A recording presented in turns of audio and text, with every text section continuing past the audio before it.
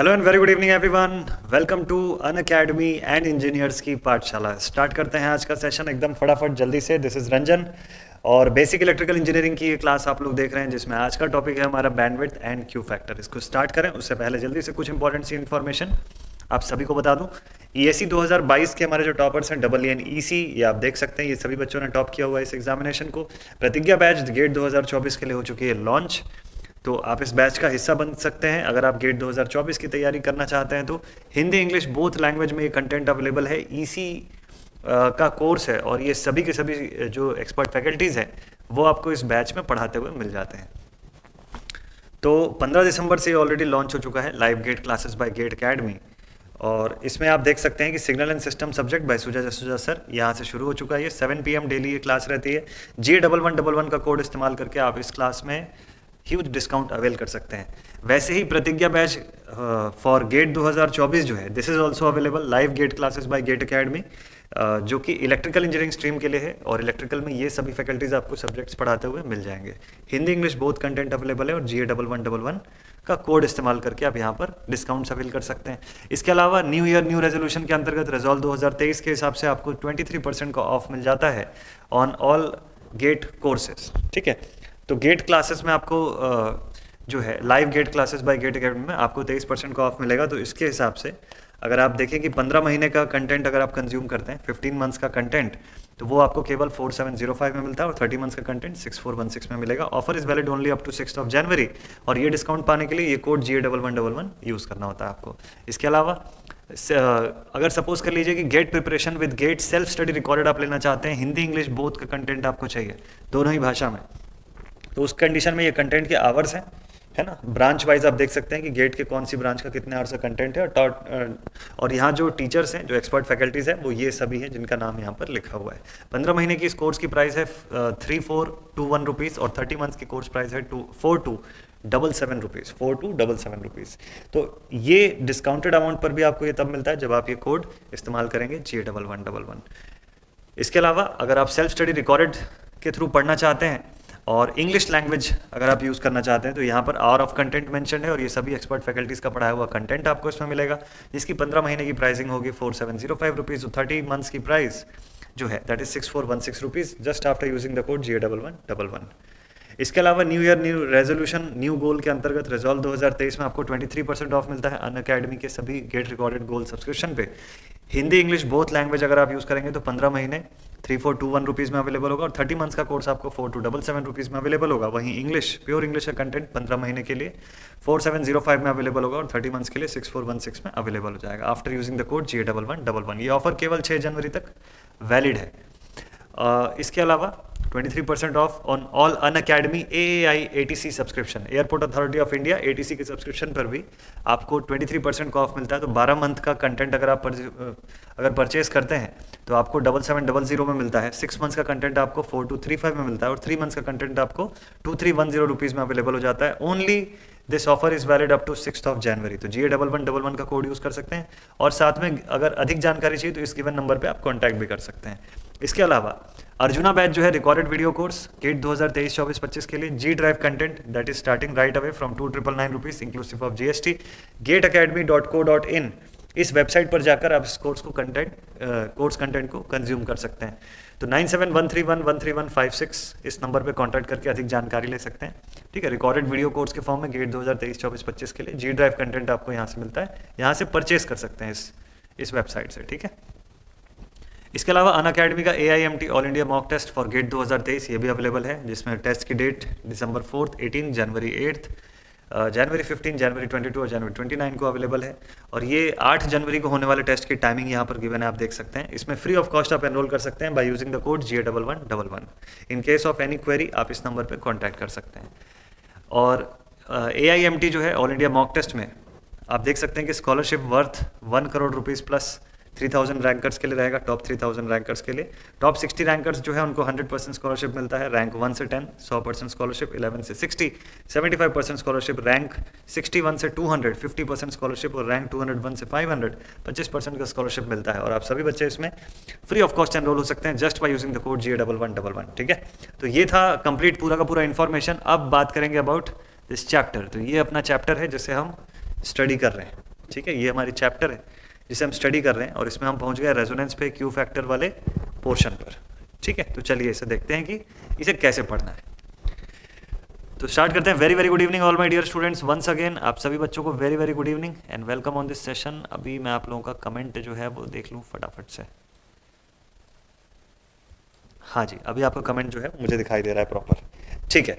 Shreya Utkarsh, Jitendra, Tanmay, Sagun Syed Mahvesh Om Prakash, Kuldeep very good evening all my dear students आप सभी को very very good evening Deepak, Anjani, Utkarsh. एक second हाँ आज कुछ ज़्यादा ही ठंड है, इधर उत्कर्ष ने लिखा है। हाँ इधर भी इधर भी वैसा ही हाल है। चलिए तो स्टार्ट करते हैं। तो आज का कंटेंट जो है, इसमें हम पढ़ने वाले हैं। आज का कंटेंट जो है, इसमें हम बात करने वाले हैं about bandwidth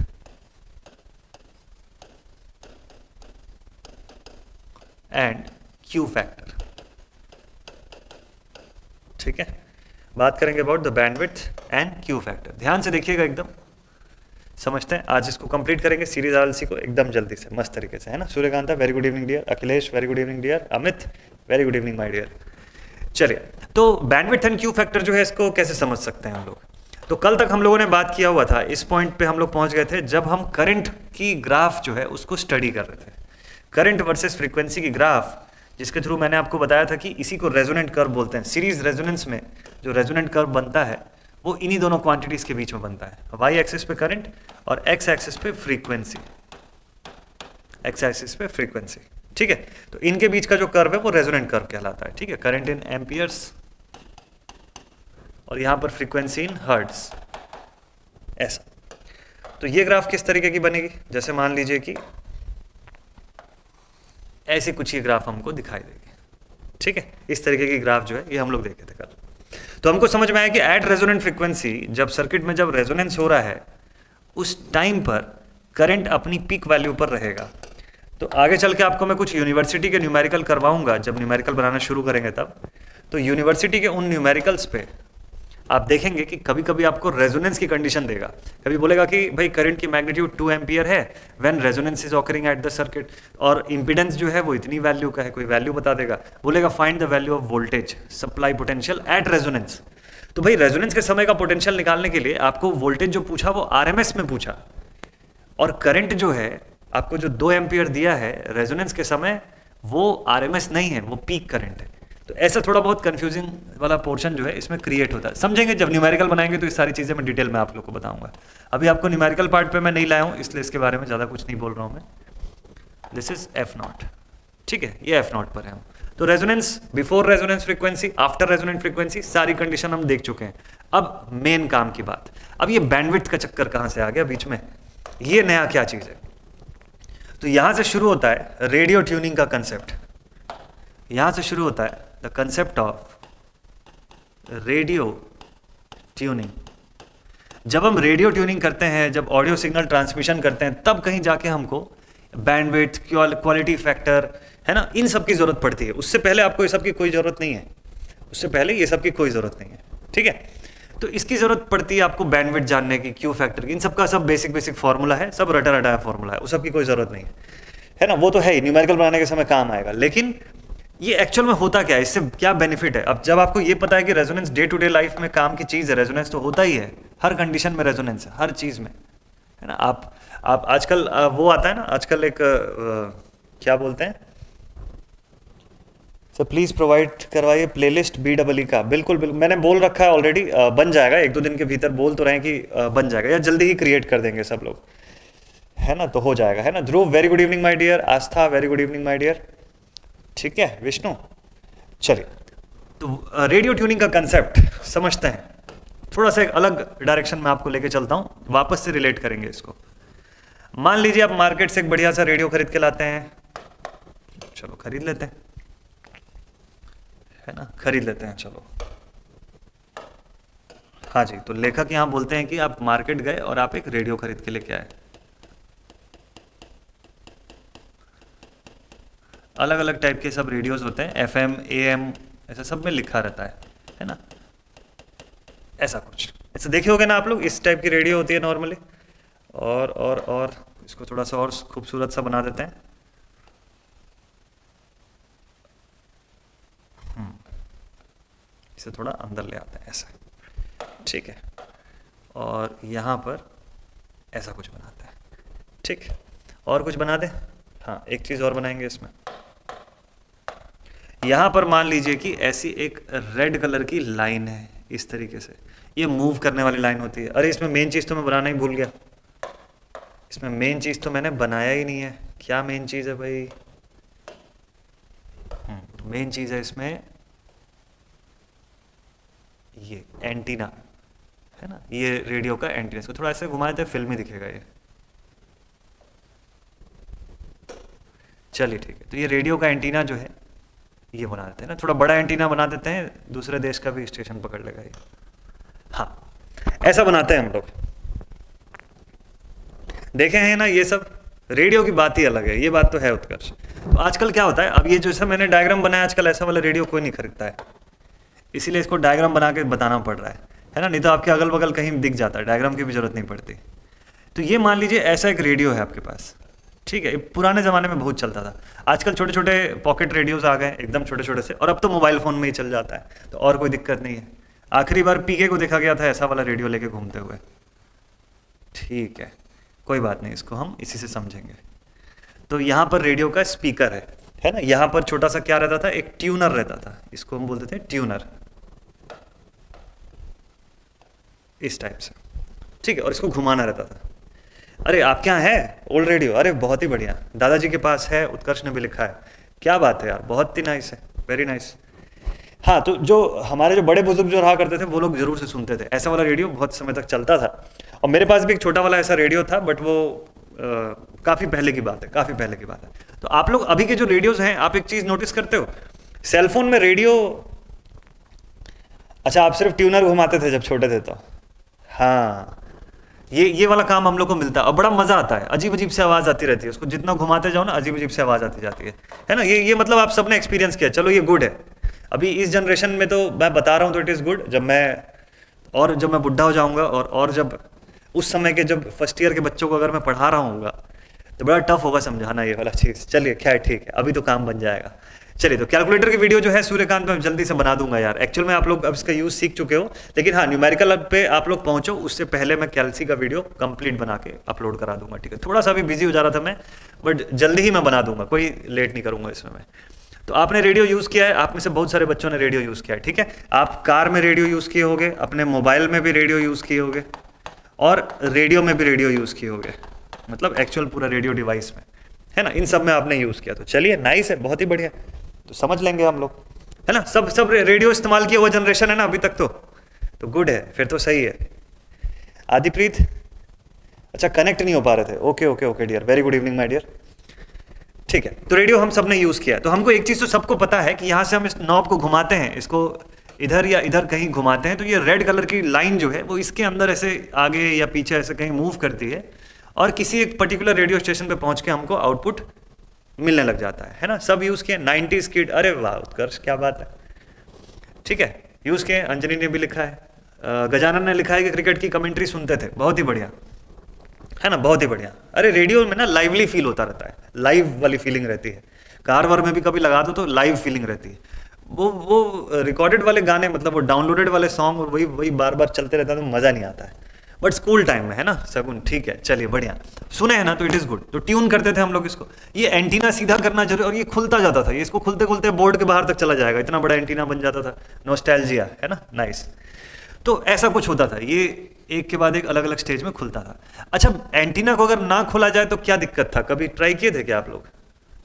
और अभी वाले जो रेडियो जो आप लोग यूज़ करते हो, जैसे सपोज़ कर लो कोई बच्चा सेल फ़ोन में अगर रेडियो यूज़ करता है मोबाइल फ़ोन में तो आप एक चीज़ नोटिस की होगी कि उसमें ईयरफोन लगाना कंपलसरी हो जाता है।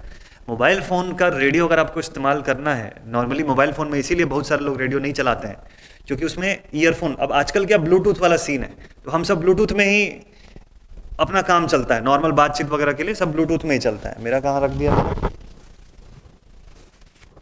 घुमा दिया क्या? कहीं पे छोड़ दिया मैंने। अच्छा अभी ब्लूटूथ के नाम लिया मैंने तो मुझे याद आ गया। चलो, कोई बात नहीं, ढूंढेंगे इसको बाद में, है ना? हाँ जी तो आजकल पूरा काम ब्लूटूथ पर ही चलता है। ठीक? सिग्नल नहीं मिलता, है ना? चैनल नहीं पकड़ता है तब तो। बिल्कुल सही है फ्रीक्वेंसी चाहिए। सही सिग्नल नहीं आती, बिल्कुल सही। रिमोट कंट्रोल कार्स में भी यूज़ होता है एंटीना हाँ उनमें भी यूज़ होता है। तो सिग्नल पकड़ने के लिए ज़रूरी है ना? तो हमको समझ में आता है कि एंटीना की ज़रूरत क्या है, ये सबको क्लियर है। चलिए, बढ़िया है। तो चैनल नहीं पकड़ता, इसको नहीं खोले तो। चलो, यहाँ तक तो आप सबको बढ़िया से पता है। तो मोबाइल फोन्स में आपको क्या ईयरफोन यूज़ करने को बोलेगा? बोलेगा कि आप ईयरफोन यूज़ करो भी वायर्ड वाला। तब कहीं जाके रेडियो चलेगा। बिना वायर वाला आप रेडियो लगा दोगे आप बिना ईयरफोन लगाए हुए, या ब्लूटूथ से भी जोड़ दोगे, कुछ नहीं चलेगा। रेडियो नहीं चलता सेलफोन में भी, है ना? तो इन सब चीज़ों में रहता है एंटीना अच्छा एंटीना कैसे काम करता है? इसको समझते हैं थोड़ा सा। अब सपोज़ कर लीजिए आपके शहर में, अभी ज़्यादा समय नहीं है, इसलिए मैं ज़्यादा एग्ज़ाम्पल नहीं ले रहा हूँ।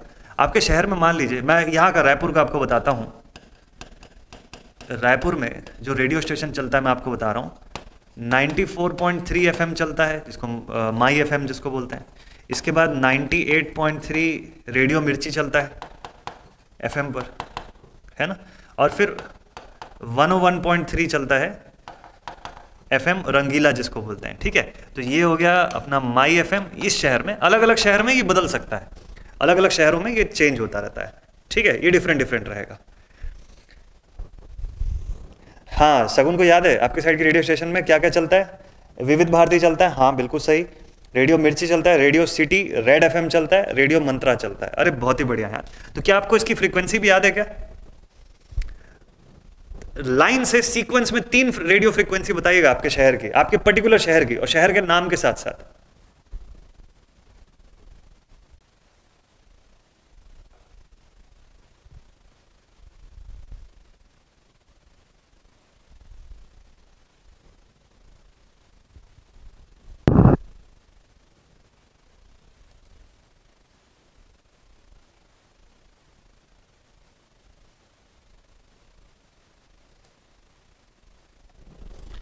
हाँ जी, मुझे लगता है कि अभी वीडियो दिख रही है क्या आप सभी को?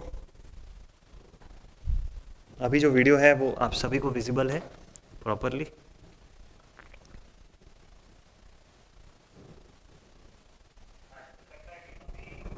ठीक है ठीक है ठीक है। मुझे लगता है कि अभी स्टार्ट हो गया है। ठीक है। नहीं नहीं महविश आपका डेटा नहीं ख़त्म हुआ है। यहाँ से ही थोड़ा सा इशू है। मेरे एंड से थोड़ा सा इशू हुआ है। अभी ओके है ना? अभी स्टार्ट कर दूँ मैं? ठीक है, आप लोग के कमेंट भी मुझे लगता है कि अब आने शुरू हो गए हाँ। ठीक है ठीक है ठीक है। मुझे भी विजिबल है आप लोगों का कमेंट ओके है ऑल गुड हाँ जी तो वापस से बात करते हैं। तो आप लोग एफएम रेडियो का मुझे वो नंबर भेज रहे हो क्या अपने एंड का? कि भाई आपके यहाँ जो रेडियो एफएम जो चलते हैं, वो तीन तीन मुझे बताएगा, एकदम सीक्वेंस में श्रेया ने लिखा कि 98.6 एफएम रेडियो मिर्ची, कोलकाता, और 92.7 एफएम ठीक। है चलिए मैं यही लिख देता हूँ। ठीक है। तो श्रेया ने लिखा है कि 98.6 98.6 एफएम और दूसरा क्या है 92.7 एफएम। अच्छा इससे पहले 92.7 एफएम। ये रेडियो था। ठीक है। हाँ तो ये है आकाशवाणी पटना की आवाज़। ऐसे ही बोलते हैं ना ये लोग अमित ने जैसा लिखा हुआ है क्या बात है। हाँ जी। ठीक है ऑल ओके ना? और लाइक करो तभी वीडियो स्टार्ट होगा गुरुजी ने लिखा है। नहीं नहीं गुरुजी ऐसे भी स्टार्ट हो जाएगा। बस आप लोग साथ में बने रहो तो भी चलता रहेगा। हाँ जी तो महविश ने लिखा है 92.7 एफएम कश्मीर। ओके ठीक है। दो या तीन रहने से क्या हम कंपेयर कर पाएँगे कि रेडियो स्टेशन का सीन क्या है? चलिए ठीक है। तो श्रेया के रीजन में कोलकाता का आपने लिखा है कि ये दो रेडियो स्टेशन सीक्वेंस में, चलो इस दो का एनालिसिस करते हैं थोड़ा सा, ठीक है? ये दोनों रेडियो स्टेशन का थोड़ा सा एनालिसिस करते हैं। तो लेट अस सपोज़ होता क्या है, क्या आपके रेडियो में, क्या आपके रेडियो में, अब मान लो आपको सुनना है 98.6 एफएम, ठीक है? मान लेते हैं थोड़ी देर के लिए कि आपको सुनना है 98.6 एफएम। नांदेड़ में क्या है? 11 सौ, एक सौ। ठीक है सगुन ने भी तीन लिखा हुआ है। Red FM. सबसे पहले लिखा है आपने रेड एफएम। कितना लिखा है? 93.5 ठीक है, फिर रेडियो मिर्ची। लिखा है आपने 91.9 एफएम पर। ठीक है, और आपने लिखा है विविध भारती। कितने पे लिखा है? सौ पॉइंट छ एफ़ पर। ठीक है, चलो। सगुन अपने शहर का भी नाम बताइएगा। शहर का भी नाम साथ में बताइएगा। कुलदीप ने लिखा है 98.3 और नांदेड़ में गुरुजी ने लिखा है 100 100.6 ठीक ठीक है। तो अब थोड़ा सा एनालिसिस करते हैं। ठीक है, सभी लोग ध्यान से देखिएगा। तो आप लोग जब रेडियो का ट्यून करें या कोई भी रेडियो जब इस्तेमाल करते हैं तो आपको एंटीना की ज़रूरत पड़ती है। कार का रेडियो है, उसमें भी एंटीना की ज़रूरत पड़ेगी आपको। जो रेडियो डिवाइस है, उसमें तो एंटीना होता ही है। मोबाइल में भी यूज़ करोगे तो आपका earphone acts as a antenna उसमें लिखा हुआ आ जाएगा। अगर आप ईयरफोन नहीं यूज़ करोगे तो उसमें लिख के बता देगा कि भाई ईयरफोन का इस्तेमाल करो, तभी रेडियो चलेगा, ठीक है? ऐसा रहता है। तो ये एंटीना करता क्या है? अब मान लीजिए किसी बच्चे को 98.6 खाली सुनना है तो क्या आपका एंटीना अकेले 98.6 को कैच कर रहा है क्या? या सभी को कैच कर रहा है? वाराणसी सिटी चलिए, ठीक है ना? वाराणसी। वाराणसी शहर की बात हो रही है। श्रेया ने कोलकाता की बात की है। ठीक है? तो अगर कोलकाता में बैठा हुआ कोई बच्चा अगर उसको 98.6 एफएम सुनना है तो क्या उसका रेडियो जो है, क्या उसका रेडियो सिर्फ़ 98.6 एफएम को ही कैच कर रहा है क्या? नहीं, ऐसा नहीं है।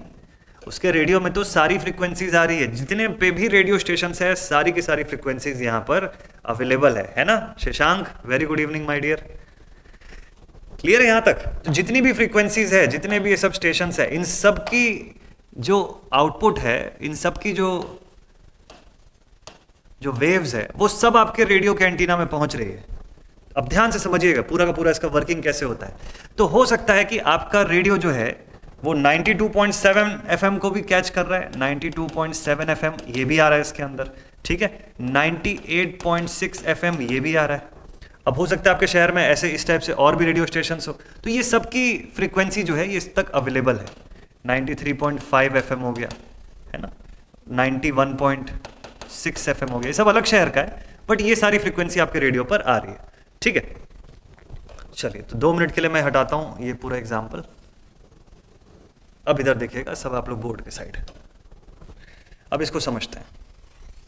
तो ये तो आ रहा है, अब आपका रेडियो डिवाइस जो है, जब आप उसे ट्यून करते हो तब क्या करता है कि वो बाइफरकेट करता है कि कौन सी रेडियो स्टेशन का आउटपुट आपको सुनाई में पड़ेगा। जब आप इसे ट्यून करते हो तो। ठीक है ना? वाराणसी में हो आप, लेकिन आप भूल गए कि कौन से उसका। अच्छा काफ़ी टाइम हो गया। ठीक है, कोई दिक्कत नहीं है। हाँ तो अब एंटीना क्या करेगा? उसको कोई मतलब नहीं है ना। एंटीना कोई ऐसा डिवाइस नहीं है जो सेपरेट कर सके कि नहीं, मुझे यही सुनना है, इसी को फ्रीक्वेंसी पकड़ना ऐसा नहीं है। इस पर तो सारी की सारी आ रही अब हर फ्रीक्वेंसी पर हर फ्रिक्वेंसी पर जो आपकी वेव है, जो जो भी आपकी जो आउटपुट होती है, वो कुछ ना कुछ वोल्टेज क्रिएट करती है। कुछ ना कुछ ईएमएफ रहता है वहाँ पर। कुछ ना कुछ ईएमएफ रहता है हर फ्रिक्वेंसी के लिए। ठीक है? कुछ ना कुछ पर्टिकुलर ईएमएफ रहेगा। जैसे मान लो 92.7 एफएम पर थ्री वोल्ट का ईएमएफ है। 98.6 पर हो सकता है पाँच वोल्ट का ईएमएफ होगा। है ना? वो डिपेंड करता है। इस पर दो वोल्ट का ईएमएफ होगा, इस पर एक वोल्ट का ईएमएफ होगा। ये सब हर फ्रीक्वेंसी पर सेपरेट कुछ ना कुछ ई हो रही होगी। उस वेव की वजह से ऑब्वियसली कोई कोई वेव है अगर, उसे जब डिकोड करोगे, उसे अपनी डिवाइस में लेके आओगे तो कुछ ना कुछ ई वो क्रिएट करेगा। ठीक है? अब होता क्या है, देखिए। आप क्या करते हो? यहाँ से ट्यूनर को घुमाते हो। ये आपका ट्यूनर घूमते घूमते ऐसे पहुँचता है और किसी एक पॉइंट पे जाके रुकता है। मान लो आप इसको रोक दिए 98.6 एफएम पे। ठीक है? तो सडनली आपका स्पीकर क्या करेगा? बढ़िया मस्त आउटपुट जो है वो आपको सुनाई देना शुरू कर देगा स्पीकर के थ्रू लेकिन आप चीज़, एक चीज़ ये सोचिएगा कि आपके शहर का रेडियो स्टेशन ऐसा क्यों रहता है? इतना दूर दूर नंबर का क्यों रहता है? 98.6 एफएम के बाद 98.7 एफएम क्यों नहीं रहता आपके शहर में अगला? इस बात को सोचिएगा, ध्यान से एकदम। ठीक है, इस बात को एकदम ध्यान से सोचिएगा। क्या क्वेश्चन मैंने पूछा? 98.6 एफएम के बाद अगला रेडियो स्टेशन हम सबके शहर में दो से तीन रेडियो स्टेशन तो सभी क्या होता है? तो एक सीक्वेंस में गवर्नमेंट क्यों नहीं बना देती है उसको? है ना? गवर्नमेंट जब बैंड का एलोकेशन करती है तो एक सीक्वेंस में क्यों नहीं कर देती है कि भाई 98.6 पे एक रेडियो स्टेशन चलेगा 0.7 पे दूसरा चलेगा और 98.8 एफएम पे तीसरा रेडियो स्टेशन चलेगा। बात खत्म, याद करने में कोई टेंशन ही नहीं है। वेरी करता है। सूर्यकांत, हर रेडियो स्टेशन का जो आउटपुट है, जो वेव है, वो उसके अकॉर्डिंग एक पर्टिकुलर अमाउंट की ईएमएफ e जो है, वो वहाँ पर बनती है। सबका अलग अलग हो सकता है। डिपेंड करता है। तो वो सभी की ईएमएफ e जो है, वो यहाँ पर आ रही है। इन सभी रेडियो फ्रीक्वेंसीज पर जो भी मैग्नीट्यूड होगी ईएमएफ की, वो अपने रेडियो के अंदर डिवाइस के अंदर तक तो आ रही है। सेलेक्ट वही हो रहा है। सेलेक्ट वही हो रहा है जो जिसके लिए हम ट्यून कर रहे हैं अपने रेडियो को। अब पहला क्वेश्चन कि रेडियो को ट्यून कैसे करते हैं? अब ये रेडियो ट्यूनर जो आप घुमा रहे हो यहाँ से, ये आपका ट्यूनर है। ठीक है? तो ये जो ट्यूनर नॉब को आप जब घुमाते हो तो बेसिकली आप किस चीज़ को एडजस्ट कर रहे हो? ऑप्शन बताता हूँ आपको रजिस्टर को की वैल्यू एडजस्ट कर रहे हो? ये वेरिएबल रेजिस्टेंस है। दूसरा ऑप्शन में बोलता हूँ कि आप इंडक्टर की वैल्यू को एडजस्ट कर रहे हो। तीसरा ऑप्शन में बोलता हूँ कि आप कैपेसिटर की वैल्यू को एडजस्ट कर रहे हो। ये ट्यूनर बेसिकली किस चीज़ की मैग्नीट्यूड को एडजस्ट कर रहा है चेंज कर रहा है? नॉट क्लियर साउंड है ना? तो क्लियर साउंड नहीं रहेगा। बढ़िया, तन मैंने लिखा कैपेसिटर सभी लोग आंसर करिएगा एक बार, जल्दी से। सभी लोग एक बार आंसर करिएगा। जो ट्यूनर है हमारा हम लोग नॉर्मली देखते हैं ना कि आ, क्या होता है कि जो साउंड वगैरह का जो ऑडियो वगैरह की डिवाइस होती है उसके अंदर ऐसा वॉल्यूम एडजस्टर रहता है। शायद अगर मेरे पास यहाँ आसपास होगी तो मैं आपको दिखाता हूँ। यहाँ पर तो नहीं है। चलो ठीक, कोई दिक्कत नहीं तो वॉइस एडजस्टर्स जो होते हैं, जो वॉल्यूम आप स्पीकर्स वगैरह सुनते हो तो सब जगह जो वॉल्यूम एडजस्ट करने वाला रहता है, वो वेरिएबल रेजिस्टेंस रहता है। वो रेजिस्टेंस की वैल्यू को वेरी कर लेता है। तो उससे आप अलग अलग आउटपुट सुन सकते हो, है ना? Mavish thank you so much my dear thank you so much यार थैंक यू सो मच यार तो बहुत बहुत शुक्रिया आपको भी, जो आपने अप्रिशिएट किया और उस चीज़ को आपने यूज़ किया उस लेक्चर्स को और आपके काम आया तो ये चीज़ बहुत बेस्ट लगा मुझे भी यार। तो कैपेसिटर इंडक्टर और आर अमित ने लिखा आर को, बाकी सबने लिखा कैपेसिटर इंडक्टर को। देखिए रेजिस्टेंस को वेरी करने से कुछ हासिल नहीं होगा। इसको छोड़ के इंडक्टर भी राइट आंसर है और कैपेसिटर भी राइट आंसर है। ट्यूनर सर्किट के अंदर इंडक्टर भी यूज़ हो सकता है कैपेसिटर भी यूज़ हो सकता है। बोथ आर करेक्ट आंसर्स क्यों? मैं आपको रीजन बताता हूँ। जो हम ट्यूनिंग करते हैं तो बेसिकली हम सर्किट को जानबूझकर रेजोनेट करवाते हैं। सर्किट को रेजोनेट करवाना चाहते हैं हम लोग। और ये सर्किट कैसे रेजोनेट करेगा? तो आप सबको पता है, resonant frequency F naught is given as one upon two pi under root L C इस पूरे इक्वेशन के अंदर आर का क्या रोल है? कोई रोल नहीं है। इस पूरे इक्वेशन के अंदर आर का रोल क्या है? ये फ्रीक्वेंसी कौन सी फ्रीक्वेंसी पर रेजोनेंस होगा? देखिए रेजोनेंस होगा तो करंट पीक पे जाएगी, लेकिन कब होगा? फ्रीक्वेंसी एफ़ नॉट पर होगा। ये कौन सी फ्रीक्वेंसी रहेगी? एफ़ नॉट की वैल्यू क्या रहेगी? ये दो ही लोग कंट्रोल कर सकते हैं। या तो इंडक्टर कंट्रोल कर सकता है या कैपेसिटर कंट्रोल कर सकता है। क्यों? क्योंकि इसका जो फॉर्मूला है, वो इस पर बेस्ड है। ये पढ़ चुके हैं आप लोग ऑलरेडी ठीक है? अब फ्रीक्वेंसी एफ़ के फॉर्म में बोलो या ओमेगा के फॉर्म में बोलिए कंडीशन बिल्कुल सेम है। तो एल और सी ही सिर्फ़ कंट्रोलिंग एलिमेंट्स हैं जो फ्रीक्वेंसी की वैल्यू को बदल सकते हैं। तो किसी एक की मैग्नीट्यूड को बदल दो, किसी और फ्रीक्वेंसी पर रेजोनेंस होने लग जाएगा। और कंडीशन भी यही है। हम जो रेडियो स्टेशन पर जब ट्यून करते हैं तो हम लोग ये कोशिश करते हैं कि उस फ्रीक्वेंसी पे हमारा डिवाइस रेजोनेट करने लग जाए। करंट अपनी पीक वैल्यू पे चला जाए। ये चाहते हैं हम लोग, क्योंकि जब ऐसा होगा तो क्या होगा मैं बताता हूँ आपको। ध्यान से देखिएगा। तो आपने इंडक्टर या कैपेसिटर दोनों में से किसी एक को आपने बदलना शुरू कर दिया। तो मोस्टली हम लोग क्या करते हैं वेरिएबल कैपेसिटर का इस्तेमाल करते हैं। इसी को ट्यून किया जाता है, इसी को चेंज किया जाता है। ठीक है वेरिएबल इंडक्टर का यूज़ करने से क्लैरिटी और साउंड आउटपुट में थोड़ी सी कमी आ सकती है। तो ज़्यादा बेटर प्रेफरेंस ये रहता है। हालाँकि पुराने रेडियोज़ में इंडक्टर जो था, इसको चेंज करना ज़्यादा अच्छा माना जाता था। इसको ट्यून करना ज़्यादा अच्छा माना जाता था। ठीक है, इसकी मैग्नीट्यूड को चेंज करना। बट इससे लंबे समय में क्या होता है कि उसकी कॉइल्स जो होती है वो खराब होनी शुरू हो जाती है, बहुत जल्दी खराब होती है इनफैक्ट तो कैपेसिटर की ट्यूनिंग ज़्यादा बेटर होती है एज कंपेयर टू इंडक्टर तो मान लीजिए एल और सी में से किसी एक एलिमेंट को घुमाते हैं, हम लोग मतलब कम या ज़्यादा करते हैं वेरी करते हैं, और जिसके अकॉर्डिंग यहाँ पर ये ट्यून होता है। अब अगर सपोज़ कर लीजिए कि किसी बच्चे को 98.6 एफएम सुनना है, वो बोलेगा कि सर मुझे 98.6 एफएम ही सुनना है पूरे में। तो यहाँ पर इसकी स्केल्स बनी हुई है, ये रेड वाला टैप जो है, ये मूव करता हुआ गुजरेगा। है ना? और 98.6 एफएम पे लाके हमको रेजोनेट करवाना है। तो जैसे उस फ्रीक्वेंसी पे पहुँचेंगे सर्किट जो है वो रेजोनेट करती चली जाएगी। उस पॉइंट पर रेजोनेट करेगी, ठीक है? तो एक्चुअल में होता क्या है? सर्किट लगातार रेजोनेट ही करती है। सर्किट जो है ना, इसके अंदर ही आप इसको किसी भी फ्रीक्वेंसी पर रखिए, आप इसको 98.4 एफएम पे भी रखेंगे तो भी आपका ये जो डिवाइस है, ये रेजोनेट कर रहा है, ये ध्यान रखिएगा। इसको जहाँ जहाँ पे भी ऑल्टर करेंगे, हर जगह रेजोनेट करेगा। लेकिन इस फ्रीक्वेंसी पे there is no radio station there is no radio station इसलिए कुछ आउटपुट नहीं मिलता है, खाली नॉइज़ डिस्टर्बेंस बस यही मिल रहा है हमको। ठीक है? कोई आउटपुट हमको नहीं मिल रहा है। No radio station is there लेकिन जैसे ही आप इसको 98.6 एफएम पे रेजोनेट करवाते हो, देखते होते क्या है? होता क्या है यहाँ पे? अब आपकी फ्रीक्वेंसी आ गई 98.6 मेगाहर्ट्ज में नॉर्मली नॉर्मली रेडियो स्टेशन की जो फ्रीक्वेंसी रहती है, वो मेगाहर्ट्ज में रहती है। ठीक है? कोई क्लियर साउंड नहीं है बज है। क्यों? क्योंकि उस फ्रीक्वेंसी पे कोई रेडियो स्टेशन ही नहीं है। उस फ्रीक्वेंसी पे कोई रेडियो स्टेशन ही नहीं है। तो जैसे आप इस फ्रीक्वेंसी पे पहुँचे, अब देखिए क्या हो गया। अब 98.6 मेगाहर्ट्ज के लिए उसकी करस्पॉन्डिंग करंट जो है, वो पहुँच गई पीक पर। ठीक? 98.6 मेगाहर्ट्ज पे जैसे ही लेके आप आए, तुरंत क्या हो गया? इसके लिए यहाँ पर करंट इसकी करस्पॉन्डिंग करंट जो है, इस वेव की, इस फ्रीक्वेंसी पे आने वाले वेव की जो करस्पॉन्डिंग करंट है, ये करंट पहुँच गई अपने मैक्स वैल्यू पे मैक्सिमम पे। ठीक है? अब ये करंट अगर मैक्सिमम है तो इसका जो ईएमएफ है, इसका जो ईएमएफ है पाँच वोल्ट का, ये सेलेक्ट हो जाएगा आपकी सर्किट के भीतर। और ये ईएमएफ जब सेलेक्ट हो गया, भाई करंट आपने, देखिए करंट की वैल्यू मिली एम्पियर माइक्रो एम्पियर में रही होगी इस वेव के लिए। लेकिन जब आपने रेजोनेट करवा दिया सर्किट को तो वो करंट एम्पलीफाई होकर वो पीक पे चली गई, वो आईएम बन गई वहाँ से। और जब वो आईएम पे पहुँची तो इसका जो करस्पॉन्डिंग वोल्टेज है, ये आपका रेडियो जो है उसको एम्पलीफाई करके स्पीकर को भेज देगा। और वो हमको बाहर सुनाई देने लग जाएगा। ये इसका बेसिक है। तो उस समय में भी 92.7 एफएम का भी फ्रीक्वेंसी है यहाँ पर। 93.5 भी आया है 91.6 भी आया इसके अंदर। लेकिन एम्पलीफाई कौन सा वाला हुआ? सिर्फ़ ये हुआ। 98.6 वाला जो है, उसकी करस्पॉन्डिंग करंट एम्पलीफाई हुई। तो इसीलिए उसकी आउटपुट हमको सुनाई देने लग जाती है और बाकी सब जो है उसके सामने दब जाते हैं रिड्यूस हो जाते हैं नेग्लिजिबल हो जाते हैं। यहाँ तक पॉइंट क्लियर हुआ कि रेडियो कैसे ट्यून करता है खुद को?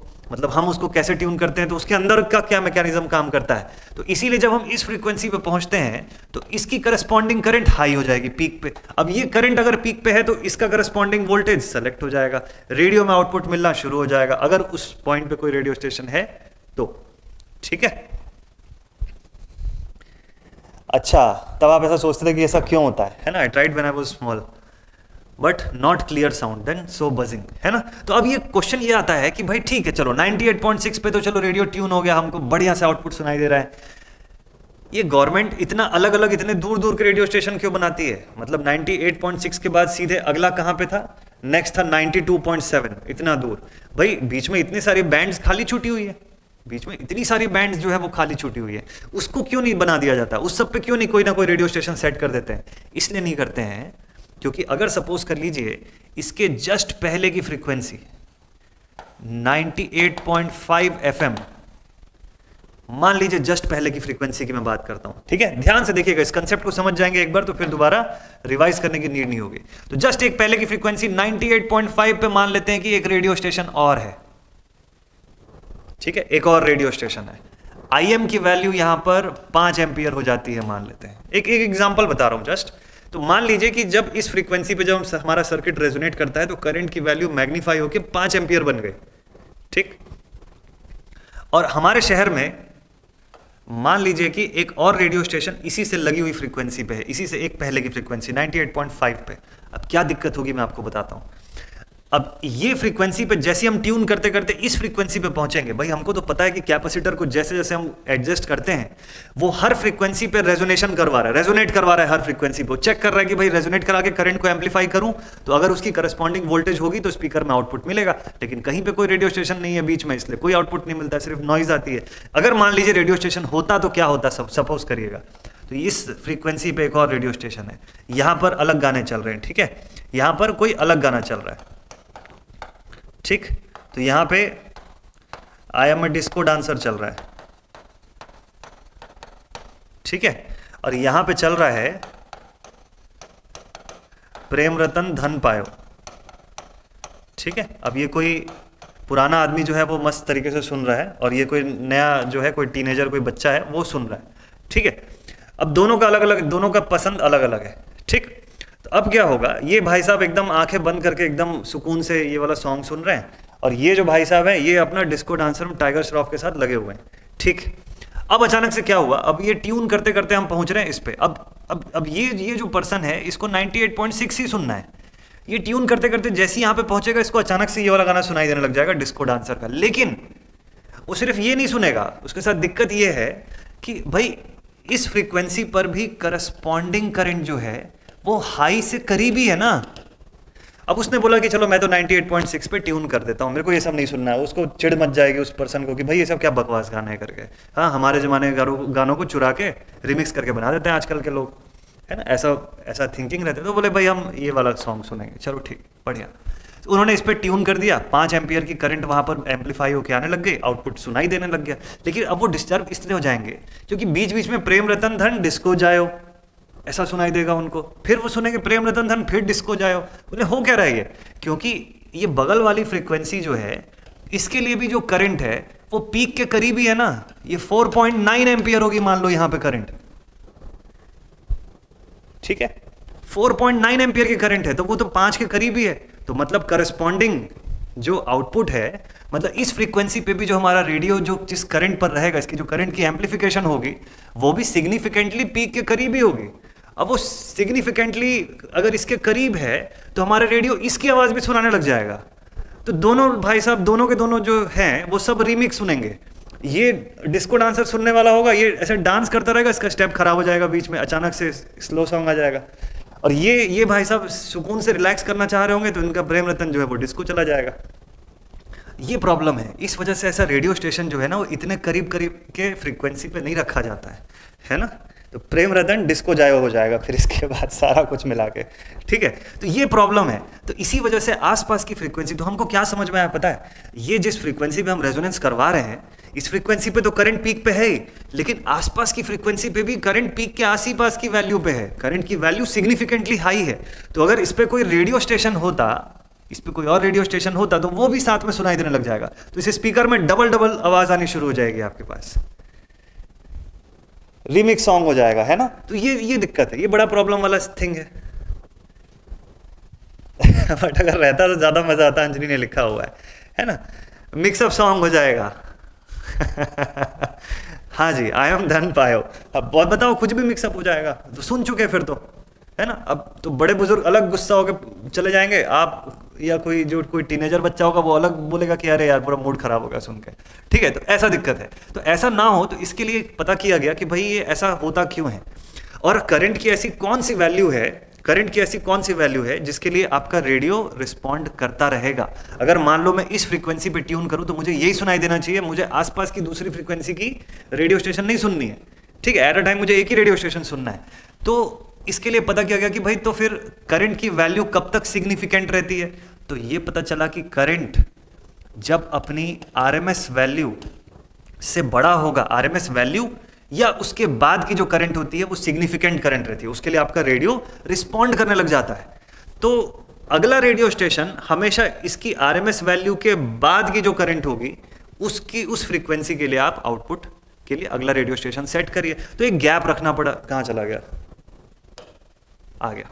ठीक है। तो मतलब आरएमएस वैल्यू ऑफ़ करंट से जब करंट दोबारा आर एम एस वैल्यू पे पहुंचेगी आई आर एम एस तो इनकी फ्रीक्वेंसीज आप नोट कर लो। तो ये मान लो एक एफ़ एल फ्रीक्वेंसी हो गया। ये वाली फ्रीक्वेंसी आप अगली बार, जिस बार जब आखिरी बार फिर से आर एम एस पे पहुंचेगी, इसको भी एफ़ एच लिख लो। लोअर कट ऑफ़ फ्रीक्वेंसी और हायर कट ऑफ़ फ्रीक्वेंसी बनता है। ये लोअर कट ऑफ़ फ्रीक्वेंसी है ना? और ये हायर कट ऑफ़ फ्रीक्वेंसी बनता है। मतलब ये होता है कि इस फ्रीक्वेंसी रेंज पर जो करंट्स होंगी, इन करंट के लिए आपका रेडियो रिस्पॉन्ड करेगा प्रॉपर आउटपुट सुनाएगा। तो भाई गलती से भी इस बैंड के बीच में कोई दूसरा रेडियो स्टेशन मत रखना, नहीं तो कबाड़ा हो जाएगा पूरे गाने का, है ना? पूरे सॉन्ग का कबाड़ा हो जाएगा। अरे बाप रे, मैं नहीं अकेडमिक्स ज़रूरी है ना? हाँ इसलिए सही है। ठीक है? तो ये इंपॉर्टेंट पार्ट है यार। अरे, किसी का मैसेज आया। सर, आप मैग्नेटिक सर्किट कब स्टार्ट करेंगे? सत्यम ने पूछा हुआ है। सुनील हेलो डियर हाँ सत्यम मैग्नेटिक सर्किट ना, इसके बाद हम लोग ये सिंगल फ़ेज़ के बाद थ्री फ़ेज़ पढ़ेंगे। थ्री फ़ेज़ के बाद तुरंत मैग्नेटिक शुरू कर दूँगा मैं, एकदम मस्त स्पीड से। तो ऐसा ना हो, इसलिए इस बैंड को खाली छोड़ा जाता है और इसी को बोलते हैं बैंड विथ साफ़ सुथरा ड्रॉ करता हूँ। अब ये कचरा जितना हम लोगों ने उस पेज में किया, ऐसा नहीं करेंगे। यहाँ पे अब क्लीन वे में समझते हैं तो। अभी समझ में आया कि बैंड विथ कौन सी विथ को बोलते हैं? बैंड की कौन सी विथ कि उस पर्टिकुलर विथ में, भाई किसी फ्रीक्वेंसी पे तो करंट आरएमएस होगी ना? किसी और फ्रीक्वेंसी पे करंट पीक होगी, जिसको रेजोनेंट फ्रीक्वेंसी बोलते हैं। और फिर किसी हायर फ्रीक्वेंसी पे करंट दोबारा आरएमएस पे होगी। अब इन दोनों फ्रीक्वेंसीज के रेंज के जब आप बाहर जाओगे तो आपकी करंट लेस देन आरएमएस रहेगी, दोनों तरफ़। तो यही रेंज जो जब करंट की मैग्नीट्यूड आई से पीक पे जाती है और पीक से दोबारा आई तक पहुँचती है तो ये जो बैंड का रेंज होता है, इसी को बोलते हैं बैंडविड्थ ठीक है? इसको समझते हैं। हाँ सूर्यकांत तो एक सेफ़ साइड जो है वो बता दिया जाता है कि भाई मिनिमम इतनी आरएमएस जो है, उसको इसके बाद आप किसी भी बैंड पर रखिए, कोई दिक्कत नहीं है। लेकिन उस रेंज के अंदर मत रखिए, नहीं तो पूरा इंटरफेरेंस होने का 100 परसेंट चांस रहता है वहाँ पे। तो ये देखिए, ये हो गया आई ये करंट इन एम्पियर्स और ये जो होता है दिस इज़ फ्रीक्वेंसी अब इसको हर्ट्स में लिखिए या ओमेगा के फॉर्म में। चलिए इस बार ओमेगा के फॉर्म में। अभी तक तो बहुत मैंने हर्ट्स के फॉर्म में बताया ना। अब एक ओमेगा के फॉर्म में भी करते हैं। कई किताबों में इस फॉर्म में लिखा रहता है। ओमेगा रेडियंस पर सेकेंड ठीक है, इस फॉर्म में। बात वही है, बस लिखने का तरीका थोड़ा अलग। तो अब अगर मान लीजिए मुझे यहाँ पर बैंडविथ शो करना है तो मैं कैसे शो करूँगा? अब मैं अगर सपोज़ कर लीजिए ट्यून कर रहा हूँ 98.6 पे। तो ये मेरी रेजोनेंट फ्रीक्वेंसी हो गई, ठीक है? इस रेजोनेंट फ्रीक्वेंसी पे मैं रेडियो को ट्यून किया। यहाँ ओमेगा नॉट की वैल्यू 98.6 है ना एफएम अब ये मेगा हर्ट्स में नहीं लिखूँगा, इसको मैं कन्वर्ट करूँगा रेडियो रेडियंस पर सेकंड में, ठीक है? तो चलिए जस्ट फॉर एन एग्ज़ाम्पल मैंने ऐसा लिख दिया। तो इस कंडीशन पे यहाँ पर आई एम है मैक्सिमम करंट है, ठीक है? तो मेरा रेडियो पता है किसके लिए ट्यून हो जाएगा? मेरा रेडियो जो है वो यहाँ से यहाँ तक डिटेक्ट करेगा कि इस बीच में कोई और फ्रीक्वेंसी तो नहीं है। अपनी आरएमएस वैल्यू से पीक और पीक से दोबारा आरएमएस तक पहुँचने का पूरा रेंज देखेगा। तो भाई, आरएमएस आखिरी बार कब पहुँचा होगा? पहली बार? इस किसी फ्रीक्वेंसी पे। तो मान लेते हैं कि ये जो फ्रीक्वेंसी है दिस इज़ ओमेगा एल ये जो फ्रीक्वेंसी है, इसको मैं लिख लेता हूँ। This is omega H condition वही है। ओमेगा एल जो है स्मॉलर देन ओमेगा नॉट है। ओमेगा एच जो है, वो ग्रेटर देन ओमेगा नॉट है। सारी कंडीशन एकदम फिक्स है। और ओमेगा नॉट जो है this is the resonant frequency ठीक। ये जो है this is the resonant frequency ऐसे। तो बैंडविथ किसको बोलेंगे हम लोग? बैंडविड्थ इस रेंज को बोलते हैं। इस रेंज को बोलते हैं। ठीक है? कि ओमेगा एल से ओमेगा एच के बीच का जो सेगमेंट है यही कहलाएगा बैंड विथ कि भाई इस बैंड के लिए हमारा रेडियो सबसे ज़्यादा सेंसिटिव रहेगा सबसे ज़्यादा एक्टिव रहेगा। क्लियर पॉलीफेज सिस्टम इस चैप्टर के बाद इस चैप्टर के बाद। ठीक है so what is the meaning of bandwidth तो बैंडविथ का मीनिंग होता है it is it is the range of frequency it is the range of frequency for which the corresponding for which the corresponding current reaches 70.7 percent of its peak magnitude बस है ना formula वगैरह के form में तो हम सब जानते ही हैं बस फॉर्म ये है कि हमको स्टेटमेंट के वाइज भी पता रहे कि एक्चुअल में बैंडविड्थ होता क्या है? बैंडविड्थ का मकसद क्या होता है? क्यों बैंडविड्थ डिसाइड करना पड़ता है हमको? तो बैंडविड्थ डिसाइड करने का रीज़न यही होता है। बैंडविड्थ जो है, उसको हम लोग डेल ओमेगा के फॉर्म में भी शो करते हैं। Del omega that is given as R by L ठीक है? डेल ओमेगा जिसको कि आर अपॉन एल के फॉर्म में हम लोग शो करते हैं। ठीक है? ये तो एक्सप्रेशन है। ये कैसे बन रहा है? देखिए बैंडविड जो है, ये डेल ओमेगा है। ठीक? इसका आधा हिस्सा क्या होगा? Half portion R by two L, पूरा हिस्सा जो होता है, del omega that is equal to R by L. ठीक? आधा हिस्सा क्या होगा? R by two L. अब मैंने आर क्यों लिखा, इसका मैं कारण बताऊँगा थोड़ी देर के बाद। और दूसरा हाफ़ हिस्सा होगा आर बाई टू एल। ऐसा। ठीक है? ये half portion R by twelve दूसरा half portion R by twelve दोनों मिला दिया आर बाई एल इस फॉर्म में इसको एक्सप्रेस कर रहे हैं हम लोग, ठीक है? Let us suppose this is bandwidth तो बैंडविड्थ का रीजन हमको समझ में आ गया? किसको बोले? बैंडविड्थ बैंड का वो हिस्सा जहाँ पे करंट आरएमएस से लेके पीक और पीक से दोबारा आरएमएस तक पहुँचती है दैट इज़ बैंडविड्थ अब ये आखिरी आखिरी में दो चीज़ें क्या लिखा है मैंने?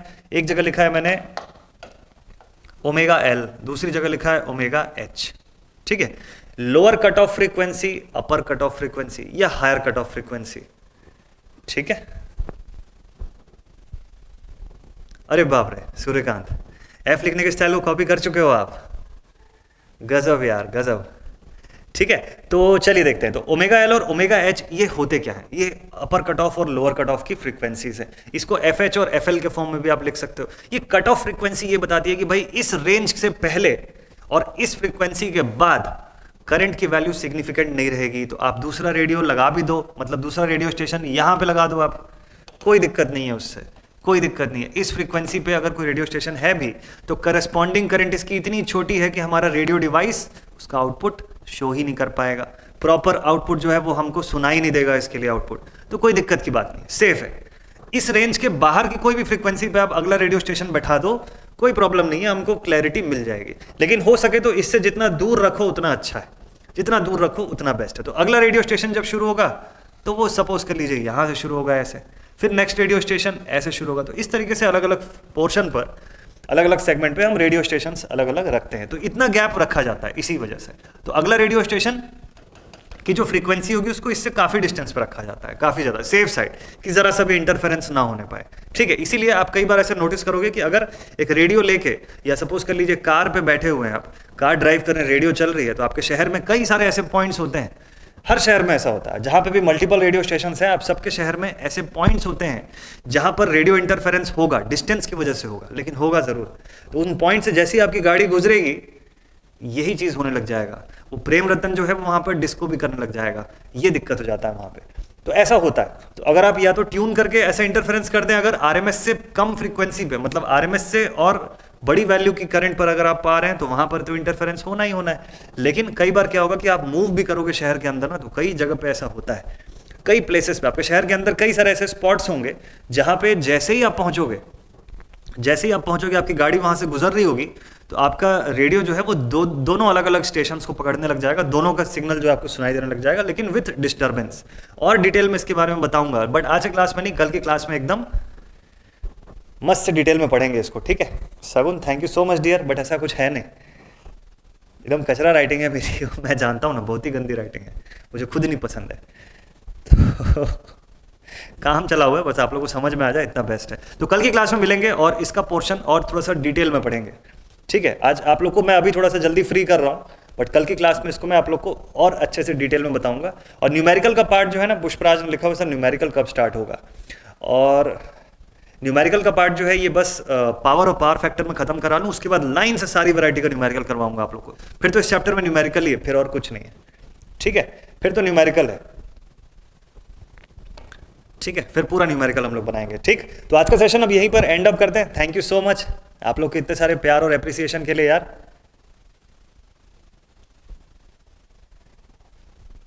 थैंक यू सो मच यार। सगुन फ्लिप गेमर आप सभी बच्चों को। मैं थैंक यू सो मच यार। ठीक है तो चलिए, आज का सेशन मैं अब यहीं पर एंड अप कर देता हूँ। आप लोगों से मिलते हैं नेक्स्ट सेशन में, यानी कि कल, और कल मिलेंगे। इसको थोड़ा सा स्पीडली पढ़ेंगे। कल थोड़ा सा ऑन टाइम भी शुरू कर देंगे। आज थोड़ा सा डिले हुआ मुझे स्टार्ट करने में, उसको मैं मैनेज कर लूँगा कल के ऑनवर्ड्स ठीक है, और कंप्लीट करते हैं इसको फिर। प्रॉपर पढ़ेंगे मस्ट टॉपिक है ये। इसको सीरीज़ को थोड़ा सा मैं धीरे पढ़ा रहा हूँ जानबूझ के ताकि अच्छे से समझ में आए।